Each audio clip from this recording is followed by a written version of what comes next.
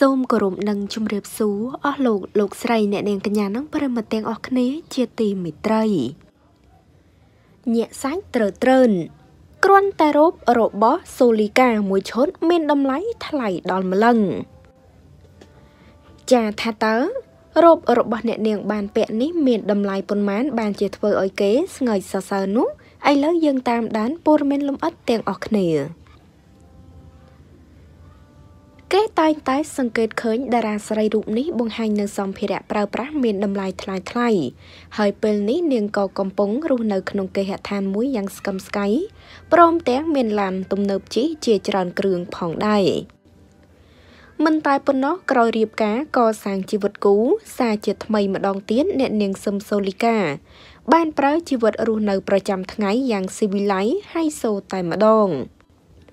តារាស្រីជើងចាស់អ្នកនាងសឹមសូលីកាជាសិល្បករនីមួយរូបដែលតែងតែ មានទស្សនិកជនជាច្រើនគាំទ្រនាង បើទោះបីជាមួយរយៈចុងក្រោយនេះតារារូបនេះមិនសូវបង្ហាញមុខក្នុងការងារសិល្បៈដូចមុនយ៉ាងណាក្តីម្យ៉ាងវិញទៀតបើងាកទៅមើលជីវិតឯកជនរបស់តារារូបនេះនាពេលបច្ចុប្បន្នវិញឃើញថា នាងបានកសាងជីវិតគ្រួសារយ៉ាងកក់ក្ដៅ និងមានសុភមង្គលខ្លាំងតែម្ដង លើសពីនេះទៅទៀតបើក្រឡេកមកមើលការតុបតែងខ្លួនឃើញថាតារារូបនេះមានការរៀបចំខ្លួនយ៉ាងទាន់សម័យមិនចាញ់ក្មេងៗនោះទេ បើទោះបីជាវ័យកាន់តែជ្រេបន្តិចមែនជាពិសេសគ្រប់ពេលដែលនាងធ្វើខ្លួនម្ដងម្ដងមើលទៅពិតជាស្រស់ស្អាតលេចធ្លោខ្លាំងណាស់ ដោយឡែករយៈពេលថ្មីថ្មីនេះតារាស្រីរូបនេះបានបង្ហាញនៅតម្លៃរ៉ូបមួយដែលនាងបានស្លៀកចូលរួមកម្មវិធីទូរទស្សន៍យប់មិញ មានតម្លៃរហូតទៅដល់1515ដុល្លារឯណោះក្រោយពីទស្សនិកជននិងអ្នកគាំទ្របានដឹងអំពីតម្លៃរ៉ូបមួយនេះពួកគេពិតជាភ្ញាក់ផ្អើលគ្រប់គ្នាតែម្ដងព្រោះឈុតនេះពិតជាមានតម្លៃថ្លៃហួសការស្មាន។ វ៉ាវពិតជាមិនធម្មតានោះទេបងប្អូនរូបដែលអ្នកនាងសឹមសូលីកាបានស្លៀកនេះ គឺតម្លៃថ្លៃខ្លាំងមែនទែន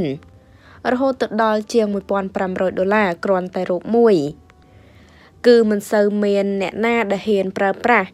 របស់ថ្លៃថ្លៃដូចអ្នកនាងឡើយឃើញជីវិតដ៏ហឺហាហៃសូរបស់គាត់ហើយធ្វើឲ្យនារីនារីគ្រប់រូបលួចច្រណែនគាត់គ្រប់គ្នា ចាហើយតកតងនឹងព័ត៌មាននេះដែរក៏សូមបញ្ចប់តែត្រឹមនេះឥឡូវយើងងាកមកតាមដានព័ត៌មានជាបន្តទៀតដែលតកតងទៅនឹងសាមញ្ញណាស់សមាជិកនៃគ្រួសារផលិតកម្ម Galaxy Navatra ជុំគ្នាលំហែកាយបែបទេសភាពស្រុកស្រែបងសំណាញ់អូស្ត្រីយកមកអាំងមើលទៅពិតជាសប្បាយរីករាយណាស់ នាថ្ងៃទី10ខែវិច្ឆិកាឆ្នាំ2020ម្សិលមិញនេះលោកអុកញ៉ាលេងនវត្រានិងគ្រូសា Galaxy នវត្រាដែលមានតារាចម្រៀងល្បីៗជាច្រើនបាននាំគ្នាដើរលំហែកាយាលក្ខណៈទេសភាពស្រុកស្រែទៅដល់ទឹកដីខេត្តព្រៃវែងដោយបានអូត្រីបងសំណាញ់យកត្រីមកអាំងមើលទៅទំនងគួរឲ្យឆ្ងាញ់ដល់ហើយក្នុងនោះលោកយឹមតាស្រង់បានបញ្ជាក់សារខ្លីមួយឃ្លាថា ថ្ងៃនេះមកព្រៃវែងបង្កាយត្រី ចុចទឹកត្រីអំពិលទុំមួយថ្ងៃអ្នកដែលបានចូលរួមក្នុងកម្មវិធីកំសាន្តនេះមានដូចជាលោកអុកញ៉ាលេងនវត្រាននិងភរិយា និងកូន លោកយឹមតាស្រង់តំច័ន្ទសីមារួមទាំងសមាជិកនៃគ្រួសារផលិតកម្មកាឡាក់ស៊ីនវត្រាជាច្រើនទៀនដែលមិនអាចរៀបរាប់អស់មួយវិញទៀតក្រោយឃើញមុខម្ហូបនិងការជួបជុំដ៏សប្បាយរីករាយនេះធ្វើឲ្យហ្វេនហ្វេនជាច្រើនលាន់មាត់ថា ពិតជាប្លែកអារម្មណ៍មែនបង ក្តីសុខសុភមង្គលនេះហៅថារសជាតិនៃសុភមង្គលហើយក៏នៅមានខមមិនជាច្រើនទៀតដែលលើកមករៀបរាប់ពុំអស់ចាមានឈ្មោះជាអុកញ៉ាមែនប៉ុន្តែអុកញ៉ាលេងនវត្រាធ្វើខ្លួនសាមញ្ញសាមញ្ញណាស់ទៅជួបជុំក្រុមគ្រួសារនៃក្លាក់ស៊ីបែមសាមញ្ញស្រុកស្រែស្រុកស្រែបងសំណាញ់អូត្រីយកមកអាំងពិសាអាហារជុំគ្នាបែបនេះទៅ មានអារម្មណ៍ថាស្និទ្ធស្នាលហើយក៏ជាមេមួយរូបដែលល្អផងដែរតែងតែផ្ដល់ភាពកក់ក្ដៅដល់សមាជិកនៃក្រុមគ្រួសារ Galaxy នវត្រាជានិញចាហើយតេតងព័ត៌មាននេះដែរក៏សូមបញ្ចប់តែត្រឹមនេះអរគុណបងប្អូនទាំងអស់គ្នា